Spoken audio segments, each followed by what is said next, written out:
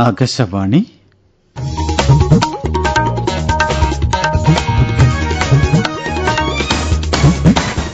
നമസ്കാരം. പ്രാദേശിക വാർത്തകൾ. വായിക്കുന്നത് ഹക്കിം കൂട്ടായി. പ്രധാന വാർത്തകൾ. പ്രധാനമന്ത്രി നരേന്ദ്രമോദി ബംഗളൂരുവിൽ ഇന്ന് ആരംഭിക്കുന്ന സെമിക്കോൺ ഇന്ത്യ സമ്മേളനം ഉദ്ഘാടനം ചെയ്യും. ആസാദി സെ അന്ത്യോദയ തക് പ്രചാരണ പരിപാടിക്ക് രാജ്യത്ത് തുടക്കമായി. കണ്ണൂർ കോഴിക്കോട് പാലക്കാട് ഉൾപ്പെടെ രാജ്യത്തെ എഴുപത്തഞ്ച് ജില്ലകളിൽ ഒൻപത് കേന്ദ്ര മന്ത്രാലയങ്ങളുടെ ഗുണഭോക്തൃ പദ്ധതികൾ വ്യാപിപ്പിക്കാൻ ലക്ഷ്യമിട്ടാണ് തൊണ്ണൂറ് ദിവസത്തെ പ്രചാരണ പരിപാടി. അംഗനവാടി കുട്ടികൾക്കായി ആരോഗ്യവകുപ്പിന്റെ ബാലമിത്ര കുഷ്ഠരോഗ നിർണയ പരിപാടി ഇന്ന് ആരംഭിക്കും. ഓപ്പറേഷൻ മത്സ്യ ശക്തിപ്പെടുത്തിയതോടെ സംസ്ഥാനത്ത് മായം കലർന്ന മീനിന്റെ വരവ് കുറഞ്ഞതായി മന്ത്രി വീണ ജോർജ്. സംസ്ഥാനത്ത് വൈദ്യുതി നിയന്ത്രണം ഇന്നും തുടരും. സന്തോഷ് ട്രോഫി ഫുട്ബോളിൽ കർണാടകയെ തകർത്ത് കേരളം ഫൈനലിൽ. വാർത്തകൾ വിശദമായി. പ്രധാനമന്ത്രി നരേന്ദ്രമോദി സെമിക്കോൺ ഇന്ത്യ സമ്മേളനം ഇന്ന് ഉദ്ഘാടനം ചെയ്യും. ബംഗളൂരുവിലാണ് മൂന്ന് ദിവസത്തെ സമ്മേളനം സംഘടിപ്പിക്കുന്നത്. ചിപ്പ് രൂപകൽപ്പനയും നിർമ്മാണ ആവാസ വ്യവസ്ഥയും പരിപോഷിപ്പിച്ച് ഇന്ത്യയെ ആഗോള സെമി കണ്ടക്ടർ ഹബ്ബാക്കി മാറ്റുക എന്നതാണ് സമ്മേളനം വിഭാവനം ചെയ്യുന്നത്. വ്യവസായ ഗവേഷണ സംഘടനകളിൽ നിന്നും മറ്റും വിദഗ്ധർ സമ്മേളനത്തിൽ പങ്കെടുക്കും. ആഗോള പട്ടീദാർ ബിസിനസ് ഉച്ചകോടി പ്രധാനമന്ത്രി നരേന്ദ്രമോദി ഇന്ന് വീഡിയോ കോൺഫറൻസിലൂടെ ഉദ്ഘാടനം ചെയ്യും. ഗുജറാത്തിലെ സൂറത്തിലാണ് ഉച്ചകോടി. പട്ടീദാർ സമുദായത്തിന്റെ സാമൂഹിക സാമ്പത്തിക വികസന ഉത്തേജനമാണ് ഉച്ചകോടിയുടെ ലക്ഷ്യം. ആസാദി സെ അന്ത്യോദയ തക് പ്രചാരണ പരിപാടിക്ക് രാജ്യത്ത് തുടക്കമായി. തൊണ്ണൂറ് ദിവസത്തെ പ്രചാരണ പരിപാടി കേന്ദ്ര ഗ്രാമവികസന പഞ്ചായത്തി രാജ് മന്ത്രി ഗിരിരാജ് സിംഗ് ന്യൂഡൽഹിയിൽ ഉദ്ഘാടനം ചെയ്തു. Desk report. കേരളം ഉൾപ്പെടെ ഇരുപത്തിയെട്ട് സംസ്ഥാന കേന്ദ്രഭരണ പ്രദേശങ്ങളിലെ എഴുപത്തിയഞ്ച് ജില്ലകളിൽ ഒമ്പത് കേന്ദ്ര മന്ത്രാലയങ്ങളുടെ ഗുണഭോക്തൃ പദ്ധതികൾ പൂർണമായും വ്യാപിപ്പിക്കുക എന്ന ദൌത്യവുമായാണ് തൊണ്ണൂറ് ദിവസത്തെ ആസാദി സെ അന്ത്യോദയ പ്രചരണ പരിപാടി സംഘടിപ്പിക്കുന്നത്. ഒരു വർഷം നീണ്ടു നിൽക്കുന്ന അമൃത് മഹോത്സവ് പരിപാടിയിൽ നിന്ന് പ്രേരണ ഉൾക്കൊണ്ട് സ്വാതന്ത്ര്യത്തിനു വേണ്ടി നടത്തിയ പോരാട്ടങ്ങളിൽ രാഷ്ട്രത്തിനു വേണ്ടി പരമമായ ത്യാഗം അനുഷ്ഠിച്ച തൊണ്ണൂറ്റിയൊമ്പത് സ്വാതന്ത്ര്യ സമര സേനാനികളുടെ ജന്മസ്ഥലം ഉൾപ്പെടുന്ന ജില്ലകൾ പ്രചരണത്തിന്റെ ഭാഗമാകും. നേരിട്ട് സഹായം ലഭ്യമാകുന്ന പതിനേഴ് കേന്ദ്ര പദ്ധതികൾ പൂർണമായും ഗുണഭോക്താക്കളിൽ എത്തിക്കുക എന്നതാണ് പ്രചാരണ ലക്ഷ്യം. കേരളത്തിൽ നിന്ന് കണ്ണൂർ കോഴിക്കോട് പാലക്കാട് ജില്ലകളാണ് പദ്ധതിയിൽ ഉൾപ്പെടുത്തിയിരിക്കുന്നത്.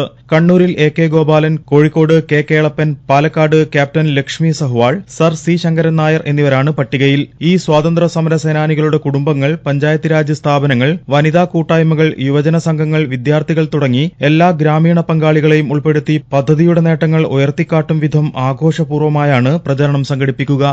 കൊച്ചി കപ്പൽശാലയുടെ സുവർണ ജൂബിലി ആഘോഷങ്ങൾ നാളെ ഉച്ചകഴിഞ്ഞ് കേന്ദ്രമന്ത്രി സർബാനന്ദ സോനോവാൾ ഉദ്ഘാടനം ചെയ്യും.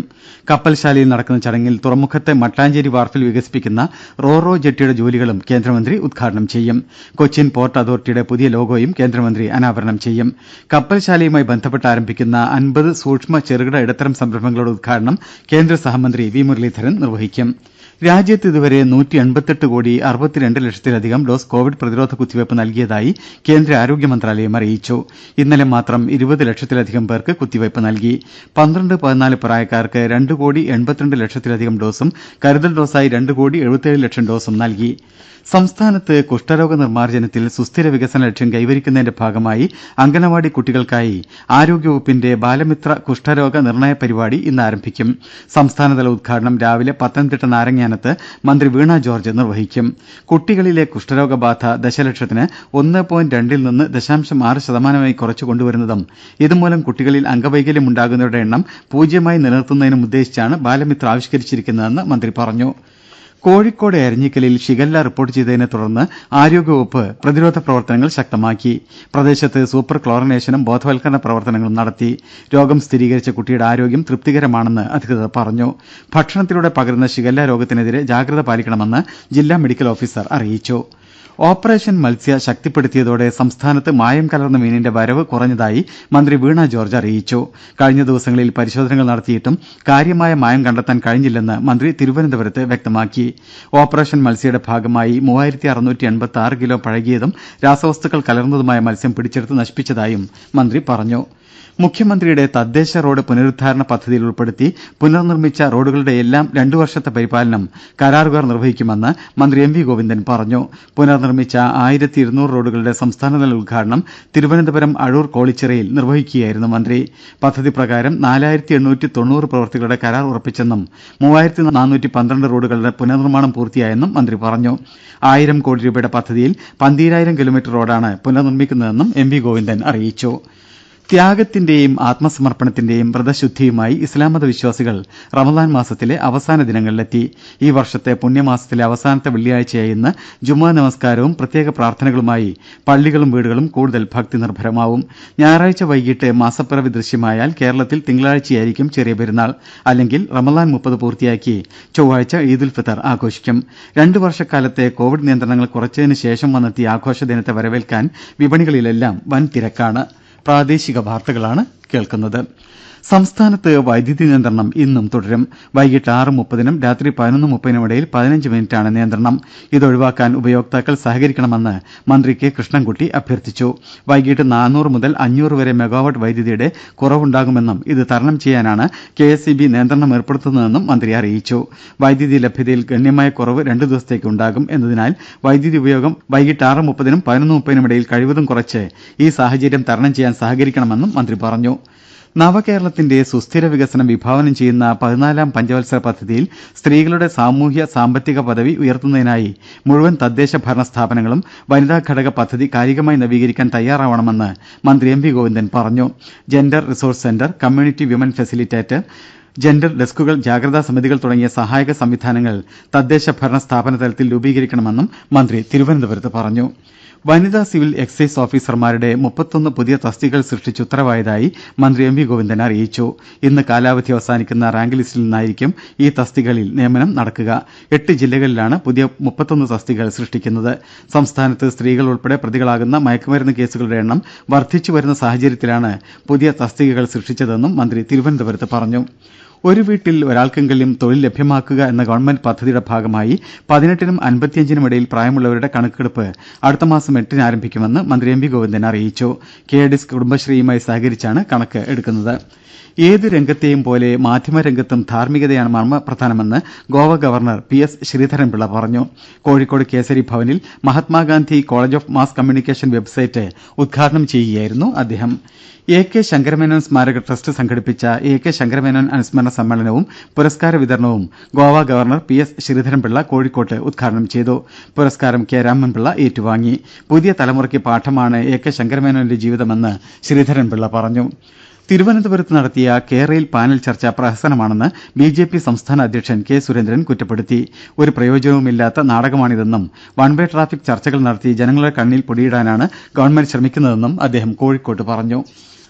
ചാവക്കാട് ഒരുമനയൂർ കഴുത്താക്കലിൽ കായലിൽ കുളിക്കാനിറങ്ങിയ മൂന്ന് കുട്ടികൾ മുങ്ങി മരിച്ചു. ഒരുമനയൂർ സ്വദേശികളായ സൂര്യ മുഹ്സിൻ വരുൺ എന്നിവരാണ് മരിച്ചത്. ഇടുക്കി വണ്ടൻമേട് പുറ്റടിയിൽ കഴിഞ്ഞ ദിവസം തീപ്പൊള്ളലേറ്റ പെൺകുട്ടി മരിച്ചു. കോട്ടയം മെഡിക്കൽ കോളേജ് ആശുപത്രിയിൽ ചികിത്സയിൽ കഴിഞ്ഞ ശ്രീധന്യ രവീന്ദ്രനാണ് മരിച്ചത്. സന്തോഷ് ട്രോഫി ഫുട്ബോൾ ചാമ്പ്യൻഷിപ്പിൽ കേരളം ഫൈനലിൽ പ്രവേശിച്ചു. മഞ്ചേരി പയ്യനാട് സ്റ്റേഡിയത്തിൽ നടന്ന സെമിയിൽ കർണാടകയെ മൂന്നിനെതിരെ ഏഴ് ഗോളുകൾക്ക് പരാജയപ്പെടുത്തിയാണ് ആതിഥേയരായ കേരളം ഫൈനലിൽ എത്തിയത്. സന്തോഷ് ട്രോഫി ചരിത്രത്തിൽ കേരളത്തിന്റെ പതിനഞ്ചാം ഫൈനൽ പ്രവേശനമാണിത്. ഇന്നത്തെ ബംഗാൾ മണിപ്പൂർ രണ്ടാം സെമിഫൈനൽ മത്സരത്തിലെ വിജയികൾ ആയിരിക്കും തിങ്കളാഴ്ച ഫൈനലിൽ കേരളത്തിന്റെ എതിരാളികൾ. മലപ്പുറത്ത് നിന്ന് ആകാശവാണി പ്രതിനിധി മത്സരഗതിക്കെതിരെ ഇരുപത്തിനാലാം മിനിറ്റിൽ കേരളത്തിന്റെ പോസ്റ്റിൽ ഗോൾ അടിച്ചുകയറ്റി സൂപ്പർ താരം സുധീർ കൊടിക്കേല കർണാടകയുടെ ഉദ്ദേശം വ്യക്തമാക്കി. മുപ്പത്തിയഞ്ചാം മിനിറ്റിൽ കേരളത്തിന്റെ ജസ്റ്റിന്റെ ആദ്യ ഗോൾ വന്നു. പതിനാല് മിനിറ്റ് കൊണ്ട് ഹാട്രിക് ആദ്യ പകുതിയുടെ അധിക സമയത്ത് ഷിഗിലിന്റെ വക നാലാം ഗോൾ. രണ്ടാം പകുതിയിൽ കർണാടകയുടെ കമലേഷിന്റെ തകർപ്പനടി കേരള ഗോൾ കീപ്പർ മിഥുനെയും കടന്നു വലയിൽ. അൻപത്തി മിനിറ്റിൽ ജസ്റ്റിനും അറുപത്തിരണ്ടാം മിനിറ്റിൽ അർജുൻ ജയരാജും ഗോൾ അടിച്ചതോടെ കേരളം രണ്ടിനെതിരെ അഞ്ച് ഗോളുകൾക്ക് മുന്നിൽ. എഴുപത്തിരണ്ടാം മിനിറ്റിൽ കർണാടകയുടെ ഗോൾ പിറന്നു. ഉടൻ തന്നെ കേരളത്തിനായി ജസ്റ്റിന്റെ അഞ്ചാം ഗോൾ. സ്കോർ കേരളം ഏഴ് കർണാടക മൂന്ന്. ഇനി ഇന്നത്തെ രണ്ടാം സെമിയും കഴിഞ്ഞ് കപ്പിനായി കലാശ പോരാട്ടം മാത്രം ബാക്കി. Suresh Edappal Malappuram. I P L ക്രിക്കറ്റിൽ ഡൽഹി ക്യാപിറ്റൽസ് കൊൽക്കത്ത നൈറ്റ് റൈഡേഴ്സിനെ നാല് വിക്കറ്റിന് പരാജയപ്പെടുത്തി. ഇന്ന് വൈകിട്ട് ഏഴ് മുപ്പതിന് പൂനെയിൽ പഞ്ചാബ് കിങ്സ് ലക്നൌ സൂപ്പർ ജയൻസിനെ നേരിടും. ഭുവനേശ്വറിൽ ഇന്ത്യൻ വനിതാ ലീഗിൽ ജയം തുടർന്ന് ഗോകുലം കേരള. ഇന്നലെ നടന്ന മത്സരത്തിൽ ഒന്നിനെതിരെ ആറ് ഗോളുകൾക്ക് ഫിഫ സ്പോർട്സ് എഫ് സിയെയാണ് ഗോകുലം പരാജയപ്പെടുത്തിയത്. പ്രധാന വാർത്തകൾ വീണ്ടും. പ്രധാനമന്ത്രി നരേന്ദ്രമോദി ബംഗളൂരുവിൽ ഇന്ന് ആരംഭിക്കുന്ന സെമിക്കോൺ ഇന്ത്യ സമ്മേളനം ഉദ്ഘാടനം ചെയ്യും. ആസാദി സെ അന്ത്യോദയ തക് പ്രചാരണ പരിപാടിക്ക് രാജ്യത്ത് തുടക്കമായി കണ്ണൂർ കോഴിക്കോട് പാലക്കാട് ഉൾപ്പെടെ രാജ്യത്തെ എഴുപത്തഞ്ച് ജില്ലകളിൽ ഒൻപത് കേന്ദ്ര മന്ത്രാലയങ്ങളുടെ ഗുണഭോക്തൃ പദ്ധതികൾ വ്യാപിപ്പിക്കാൻ ലക്ഷ്യമിട്ടാണ് ദിവസത്തെ പ്രചാരണ പരിപാടി. അംഗനവാടി കുട്ടികൾക്കായി ആരോഗ്യവകുപ്പിന്റെ ബാലമിത്ര കുഷ്ഠരോഗ നിർണായ പരിപാടി ഇന്ന് ആരംഭിക്കും.